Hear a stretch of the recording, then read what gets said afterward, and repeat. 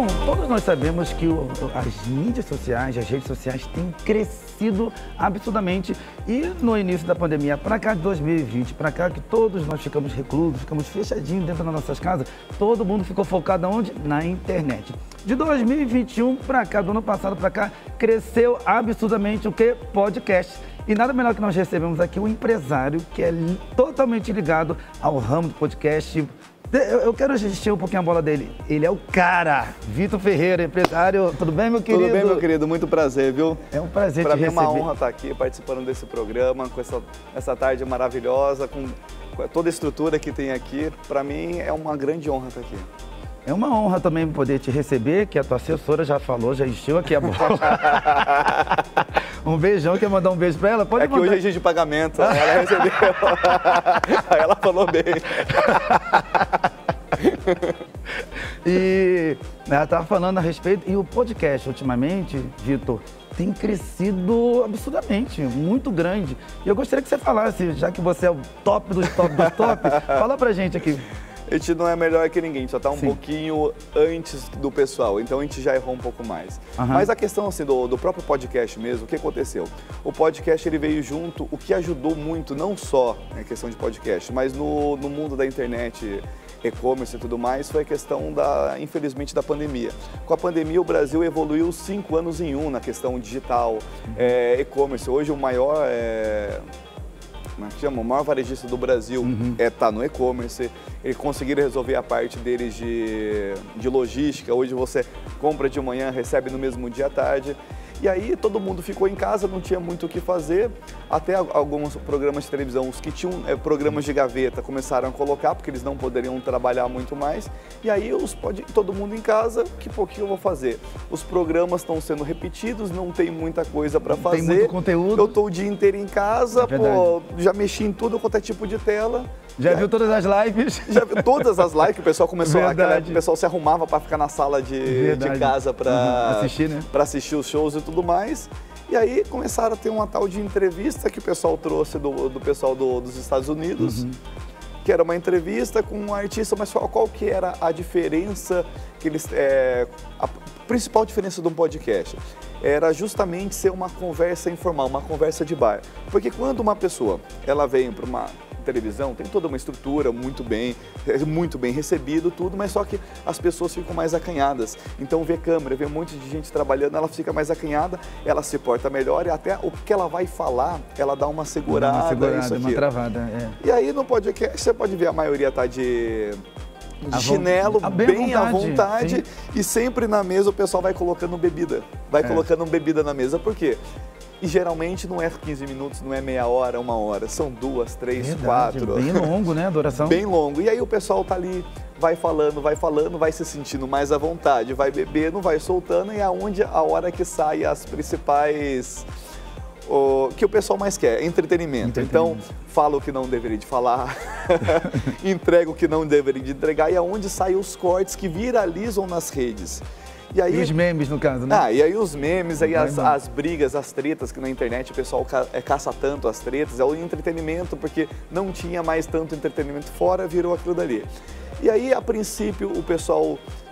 Tudo é mudança, tá? Mudança de comportamento teve esse boom e aí depois eles começaram, cresceu, começou a ter podcast é uma coisa brotar da você chacoalhava uma árvore, caía dois podcasts ali. Verdade. Só que aí eles começaram, as pessoas não estavam querendo mais ser entrevistadas, pô, já fui em um, já fui em outro, ficou aquele negócio, ah, e aí começou a ter uma trava disso, só que aí as pessoas também estavam com um problema de gerar conteúdo. Hum. Hoje, assim, quem não está na internet não é conhecido. Todo mundo, ninguém pergunta mais é, qual que é o seu nome ou qual que é o seu não, qual que é o seu arroba. É.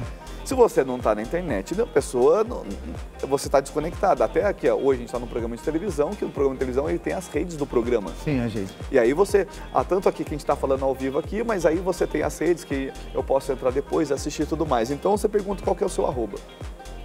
E com a questão da pandemia, as pessoas começaram a ficar sem Bom, como é que se eu trabalho na rua e eu não posso estar na rua, como é que eu vou produzir conteúdo? E elas começaram a perceber que se elas fossem no, num podcast, por mais que fosse um podcast até pequeno, que estava no começo, eles ficassem duas horas lá falando, por mais que a conversa não evoluísse, Mas ele ia falar determinadas coisas que ele queria que ser falado pegava aquela gravação inteira, ele fazia os cortes e nesses cortes ele subia nas redes dele, aí TikTok, Instagram e tudo mais. Então, com um podcast que ele ia, ele garantia um mês de conteúdo que ele soltava no, na própria rede na dele. própria rede dele. E aí todo mundo começou a perceber isso, que começou a viralizar vários conteúdos de de alguns gurus, seja de finanças, seja de relacionamento, alguma coisa, viralizavam os cortes em outras redes em outras plataformas, aí o pessoal começou a entender, pegar esse gancho e falou, não, então eu quero ser entrevistado. Aí, assim, aumentou gigante o número de podcasts, mas também muita gente querendo ir, querendo ser entrevistado justamente para quê? Para você pegar aqueles cortes e alimentar suas redes. Então uhum. é, é, mais uma, uma segunda fase disso. E agora nós estamos numa terceira fase, o que, que é?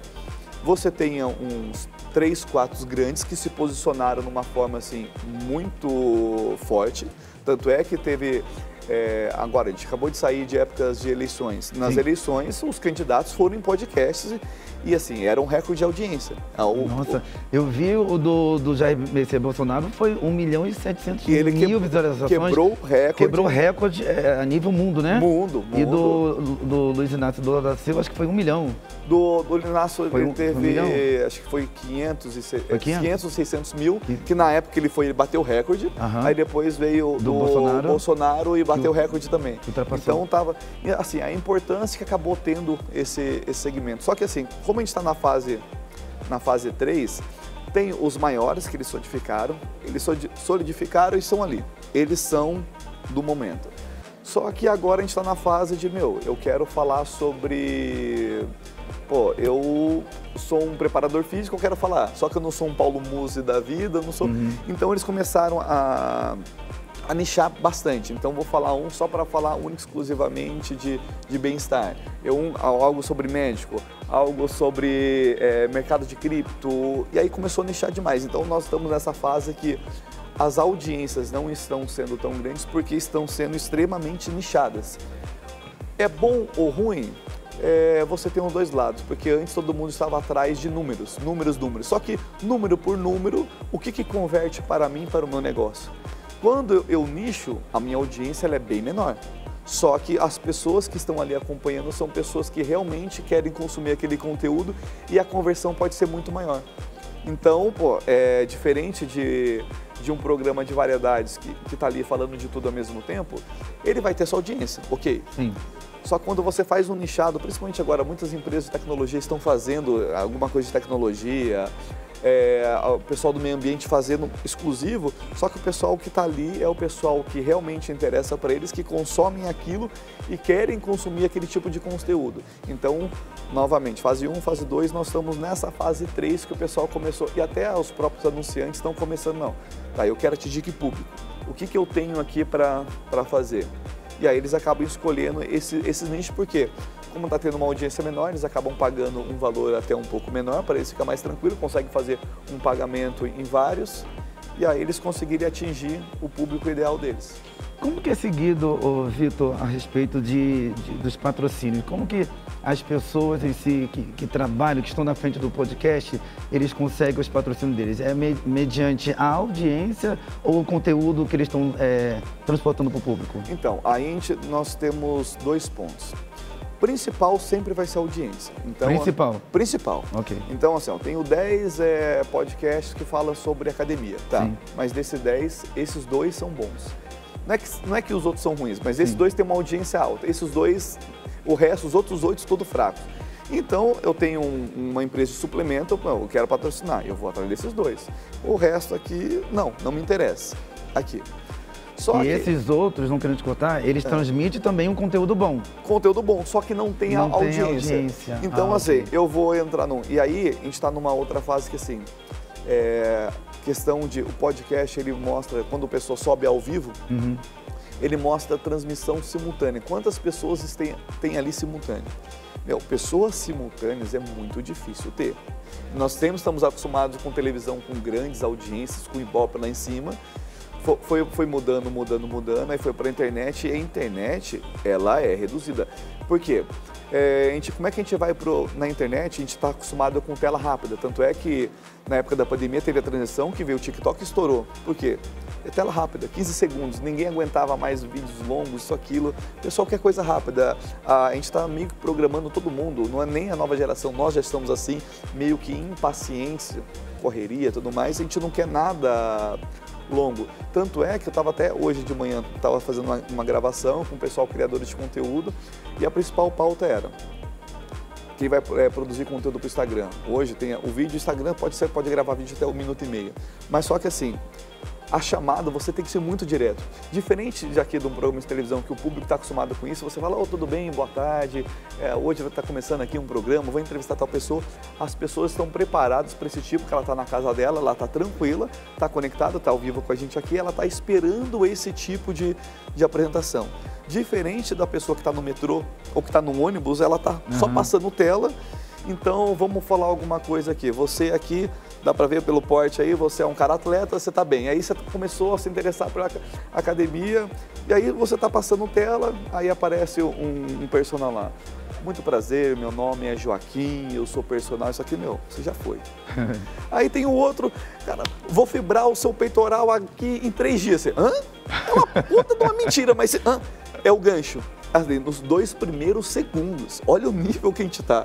Se nos dois primeiros segundos você não tiver ali um chama um chamariz grande para a pessoa que está passando tela, já foi, já foi, já era, já era.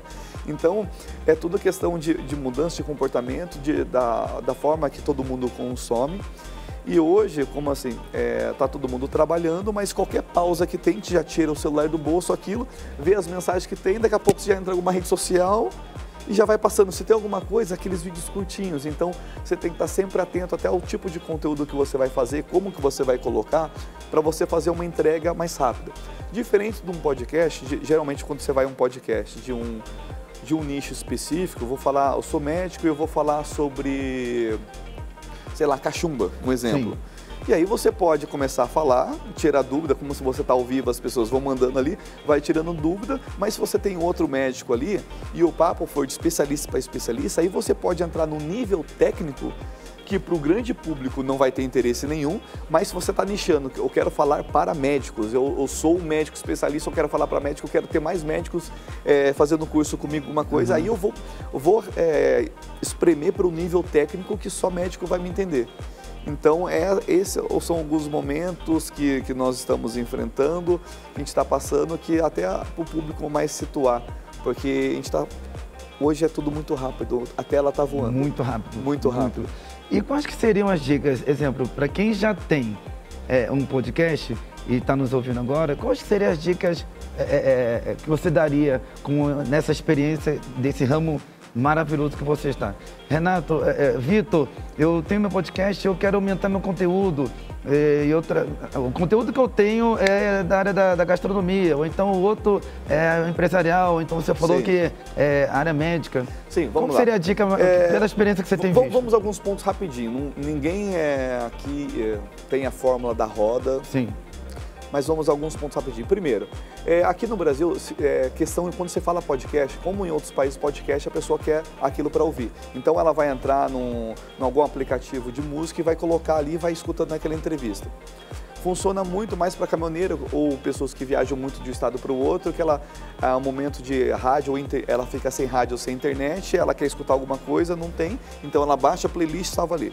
Mas aqui no Brasil, quando a gente fala de podcast, a gente está falando principalmente de YouTube, o pessoal utiliza muito a plataforma Sim. de YouTube. Então vamos lá. Primeiro, você gravou no YouTube, pega esse tipo de conteúdo, replica para o máximo de, de redes que você tiver. Pega só o áudio, replica nas plataformas de áudio. Pega os cortes, replica num, num, segundo canal de corte, ou se o seu canal ainda é pequeno, pega os cortes e joga no próprio canal mesmo. Então saiu a entrevista toda agora, dá algumas horas, já começa a soltar os cortes, solta três por dia, ideal, manhã, tarde e noite, que aí vai tendo conteúdo para a pessoa ver, os cortes sempre pequenos, de, de algum momento, que até, até brinco quando tá gravando um, um podcast, não, ó, momento do corte. Seguinte, aí fala alguma coisa que já para preparar para o corte. Uhum. É, lançar replicar maior, na, nas maiores plataformas que tiver esses cortes também, que esses cortes vão gerar, geralmente faz corte de polêmica, corte de alguma coisa. é, vai gerar conteúdo para outras redes, que vai gerar interesse as pessoas vão querer te acessar. E o principal que as pessoas esquecem de fazer. Quando você abre o seu canal, você tem lá o YouTube Studio, clica lá, ele vai te dar toda a planilha completa quantos é, inscritos você tem, o horário que as pessoas assistem. Por exemplo, você está fazendo um vídeo lá de 4 horas, a, a retenção sua está sendo de 40 minutos, então dá, dá para pensar em diminuir, mas principal, um detalhe tão bobo que as pessoas não, não, não pegam. Lá você tem um calendário que te mostra de segunda a domingo quais são os dias que as pessoas mais te assistem e ah, quais, ah, e quais são os horários, os horários, que as pessoas mais te assistem. Aí é só Olha. você adequar. Porque às vezes você está soltando um conteúdo ao vivo 7 horas da manhã, só que do seu público é ali 11 horas da manhã, que é o público da, que vai preparar alguma coisa para cozinhar eu, sete da manhã nem acordou, ou então tá pensando em outra coisa. Agora, 11 horas da manhã, pô, meio-dia tá quase aí, ele vai fazer um prato aqui, nossa, vou fazer aqui, vou acompanhar, ou então entra à noite para o pessoal que vai fazer alguma janta com um prato especial. Então, assim, é, pre é, prestar atenção nesses pequenos detalhes. São, são, pequenos detalhes que qualquer pessoa consegue. Entra lá, ver o melhor tipo de horário e faz a adequação e vai fazendo o teste. Pô, mudei para cá, eu tinha uma retenção de público simultâneo de 30 pessoas, aumentou para 35. Pô, é um bom número que aumentou de público simultâneo.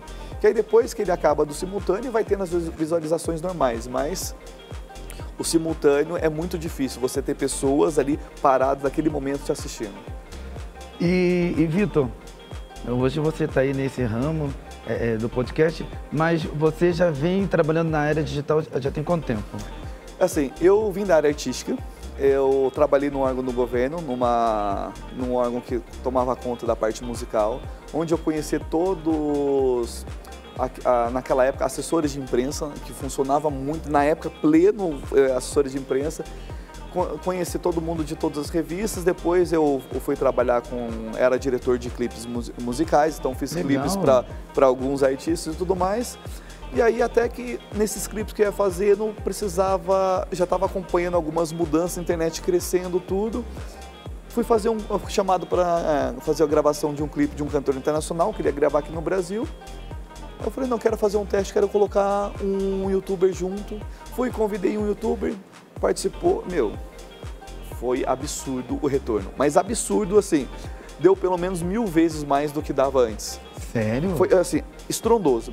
E eu fiz amizade com, com, com esse youtuber, a gente começou a desenvolver uma amizade e eu vi que ele tinha um potencial e como tinha bastante contato na área comercial, eu falei, meu, por que você não anuncia aqui? Aí eu fechei um contrato, fechei a segunda, ele veio falar comigo, meu, como é que você consegue fechar tanto? Eu falei, cara, como é que você não consegue fechar tanto com o alcance que você tem?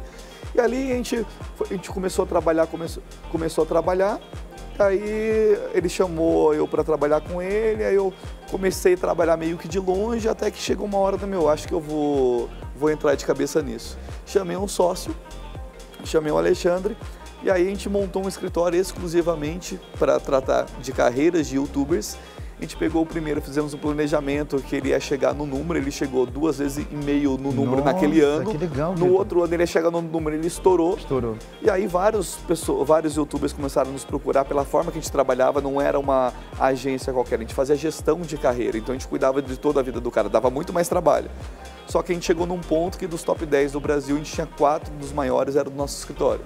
Então a gente começou a ter uma proporção muito grande, aí começou é, muita viagem para o exterior, muito contrato para o exterior, porque o, o mundo inteiro olha para o Brasil, porque o, o questão... É o celeiro, podemos dizer que é, o, o, Brasil é o celeiro. É, o segundo do... em consumo de internet. É, do, é, mundo? É, do mundo. É absurdo. É absurdo. Os outros têm, mas só que eles não têm a quantidade de consumo que o brasileiro tem. O brasileiro vive com isso. Tanto é que no, você pega no, no, próprio, nos Estados Unidos, eles consomem outras redes que são maiores. Agora aqui no Brasil, meu, o consumo de YouTube era muito grande. Instagram, que hoje é, é o RG de todo mundo, é o Instagram. É. TikTok estourou na pandemia, ele deu uma acalmada, deu uma amadurecida, mas está aí, não tem como não fazer com ele.